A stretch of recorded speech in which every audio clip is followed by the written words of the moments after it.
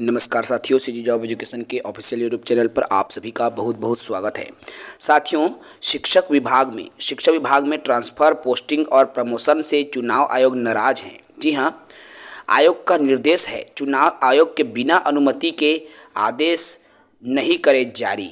जी हाँ चुनाव आयोग जो है, शिक्षा विभाग से काफ़ी नाराज़ नज़र आ रहे हैं, क्योंकि शिक्षा विभाग बिना परमिशन के ट्रांसफ़र की प्रक्रिया कर रहे हैं, नियुक्ति की प्रक्रिया कर रहे हैं और प्रमोशन की भी प्रक्रिया करने की कोशिश कर रहे हैं।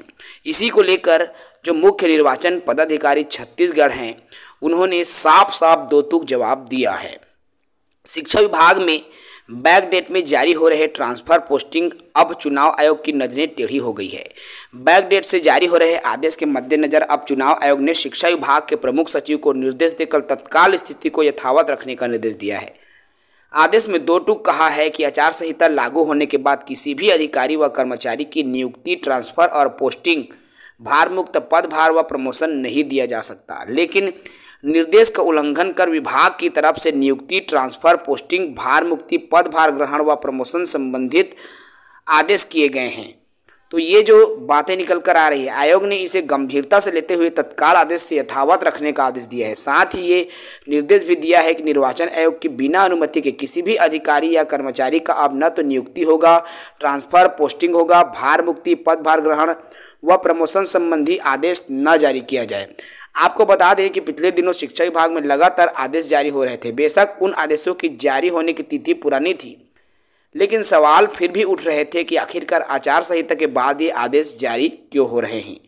तो ये बड़ी खबर है और इसी को लेकर देख सकते हो यहाँ पर आपको जो पीडीएफ दिखाई दे रहा है, ये पीडीएफ है मुख्य निर्वाचन पदाधिकारी छत्तीसगढ़ की, जिसमें साफ़ तौर पर जो शिक्षा विभाग के प्रमुख सचिव है।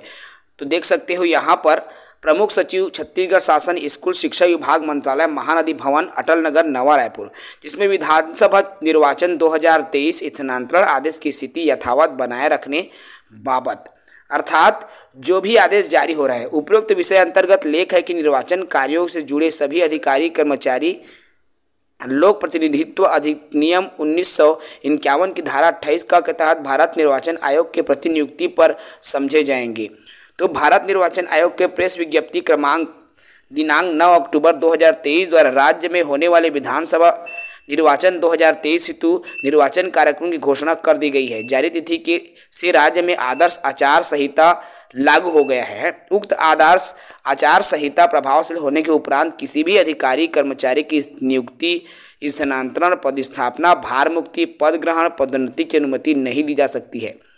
उक्त निर्देशों की उल्लंघन कर विभाग के द्वारा नियुक्ति, स्नातरण पदस्थापना भार मुक्ति, पद ग्रहण आदि जारी किए गए हैं। अतएव जारी आदेश तत्काल यथास्थिति में बनाया रखा जाए एवं किसी भी अधिकारी का बिना भारत निर्वाचन आयोग के अनुमति के नियुक्ति, स्नातरण पदस्थापना भार मुक्ति, पद ग्रहण न किया जाए। कृपया संबंधित अवगत कराएँ तथा पालन प्रतिवेदन भी प्रेषित करें। तो ये स्पष्ट आदेश जो है, मुख्य निर्वाचन अधिकारी छत्तीसगढ़ द्वारा जारी कर दिया गया है, जो कि पूरी तरीके से शिक्षा विभाग को कह सकते हैं कि एक प्रकार से ये तमाचा है, जो कि मुख्य निर्वाचन अधिकारी के माध्यम से पड़ा है। तो साथियों, अब जो है प्रमोशन की प्रक्रिया तो रुकेगी ही, साथ ही साथ जो है शिक्षक भर्ती जो हो रही है तो नियुक्ति की प्रक्रिया पर भी यहाँ पर रोक लग सकता है। फ़िलहाल इस वीडियो में इतना ही। जय हिंद।